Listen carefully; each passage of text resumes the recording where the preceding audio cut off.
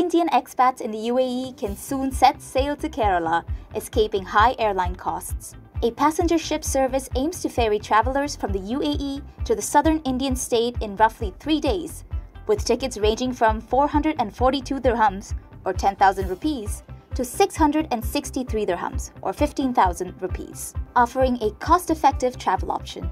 The ship boasts impressive features, accommodating up to 1,250 passengers and allowing 200 kilos of luggage per traveler.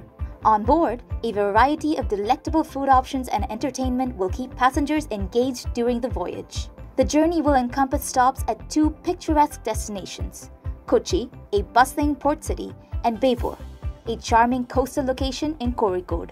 Additionally, plans are in motion to include Vizhinjam as another stop enriching the route.